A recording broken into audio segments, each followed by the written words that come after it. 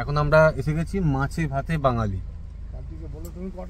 এই হচ্ছে মাছে ভাতে বাঙালি। আচ্ছা এখানে আমরা লাঞ্চ করে নেব।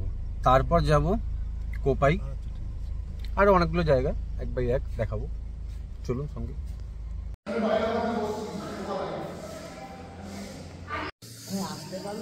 তো এই মাছে ভাটে এসে গেছি আমরা সবাই মিলে।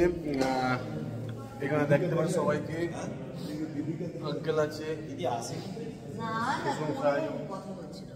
আমার ওয়াইফ শাশুড়ি মা। আমার ছেলে। সবাই মিলে এখানে বসে পড়েছি আমরা আপাতত কচি পাটার ঝোল ভাতে মেখে খাব। তারপর দেখি আর কি কি নেওয়া যায়। দেখতে থাকুন। দেখো। ঠিক আছে হাত দেবো? না আর আপনি ওটা। আর লাগলে বলব হ্যাঁ ঠিক আছে লাগবে। দাদা একটা রাইস দেবেন আলু আলু? না আলু কি হান্ডিতে থাকবে? এই তো আলু না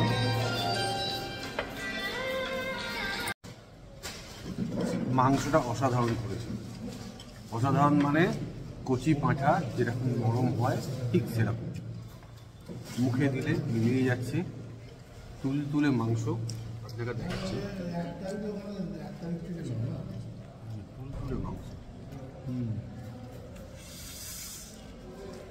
দেখেই লোক লাগে যায়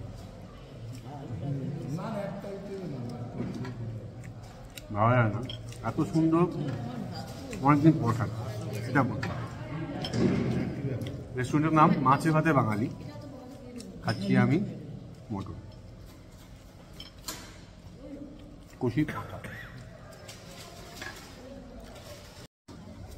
খুব ভালো লাগল খেয়ে এখানে এর সঙ্গে আমরা মাটনের হান্ডিও নিয়েছিলাম একটা। সবাই মিলে খেলাম একটা হান্ডি মানে টেস্ট করে দেখার জন্য। খুব ভালো লাগল। ওটা অসাধারণ করেছে। এখানে মাটনের টেস্ট রান্না খুব সুন্দর।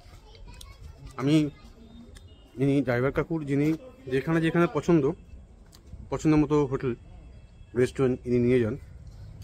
সবকটাই উনি বোঝেন আমাদের টেস্ট এবং আমার খুব ভালো লাগে। ওনার চয়েসটাও আমাদের খুব ভালো লাগে। এটা যেমন এসেছিলাম, মাছের ভাতে বাঙালি রেস্টুরেন্ট এখানে কাছেই বেশি দূর না, আমাদের বিশ্বভারতী এক ক্যাম্পাস থেকে খুব একটা বেশি দূর নয়। গাড়ি ছিল বলে আমরা চলে আসতে পেরেছি, অটো টোটো ধরে চলে আসতে পারেনি। এখানে আর একটা শুনেছি ভালো হোটেল আছে, কিন্তু ওটা আমাদের যাওয়া হলো না, কারণ ওইদিকে আমাদের নো এন্ট্রি হয়ে গেছিল বলে ঘরে বাইরে। বাট ওটাও খুব ভালো, শুনেছি। খাওয়া হয়নি, অন্য কোনো দিন খাব।